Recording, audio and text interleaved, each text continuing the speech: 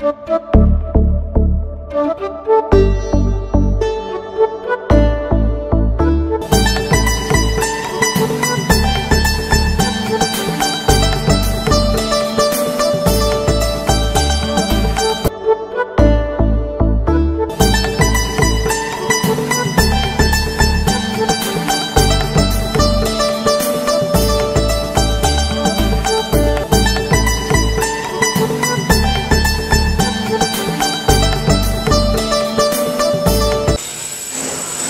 ஐயா நேற்று பேசிகிட்டு இருக்கும்போது ஓசிடி பற்றி பேசிகிட்டு இருக்கும்போது வர்ற எண்ணங்களை தெய்வீக எண்ணமெல்லாம் எடுத்துக்கோங்க. எண்ண சுழற்சி அப்படிங்கிறது தான் ஓசிடிங்க வர்ற எண்ணங்களை தெய்வீக எண்ணங்களை எடுத்துக்கங்க அப்படின்னு சொன்னீங்க.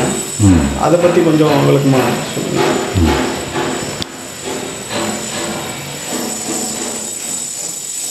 அதாவது மொத்தத்தில் வந்து நமக்கு நாமளே போராடுறது தான் பிரச்சனை.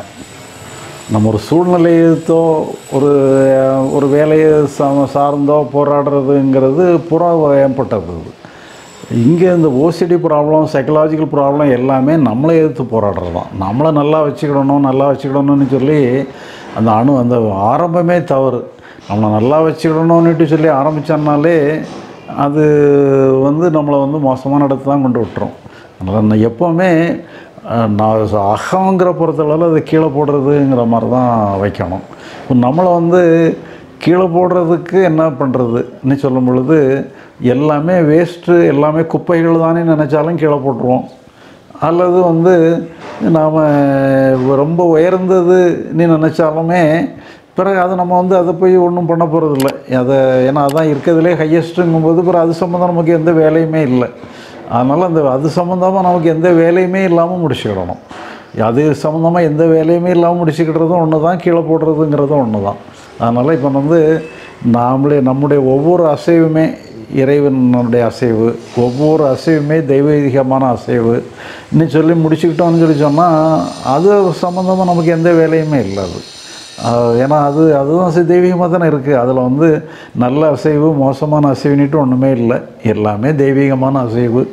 நம்ம சுவாசம் பண்ணினாலும் கூட சுவாசமே கூட தெய்வீகமான அம்சம். ஒரு தாட் வந்தாலும் தெய்வீகமானது. எதுவுமே குறை சொல்லக்கூடிய தன்மையில் எதுவுமே இல்லை. எல்லாமே உயர்வு தான்.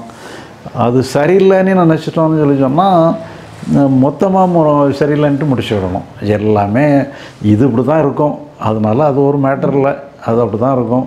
இப்போ நம்ம உட்காந்துக்கிட்டு இருக்கோம் நம்ம இது பண்ணிகிட்டு இருக்கிறோம் என்னெல்லாமோ சத்தங்கள் இப்போ நிறைய கேட்டுட்டு இருக்கு அது அப்படி தான் கேட்கும். அது நம்ம பண்ணுறதுக்கு ஒன்றும் இல்லை. இப்போ டிராஃபிக் போகுது டிராஃபிக்கில் என்னெல்லாமோ சத்தம் வருது.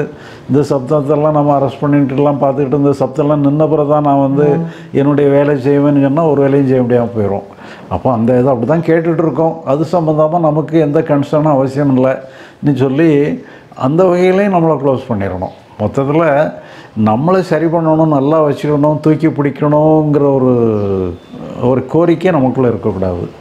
அப்போ நம்மளும் மனப்பூர்வமாக ஏற்றுக்கிடும் பொழுது அப்போ அது வந்து அதுக்கு முழு சுதந்திரம் கொடுத்துட்டாங்களே அது வந்து அப்படியே ஒரு உரைநிலையில் இருக்காது. அது வந்து ஏன்னா அது வந்து ஒரு ஆறு மனசுங்கிறது ஒரு ஆறு ஆறோட அதிக வேகமாக போகக்கூடிய ஒரு ஒரு ஒரு ஆறுன்னுட்டு வச்சுக்கணும். அப்படி இருக்கும்போது அது எப்போவுமே மூவிங்கில் இருக்கும்.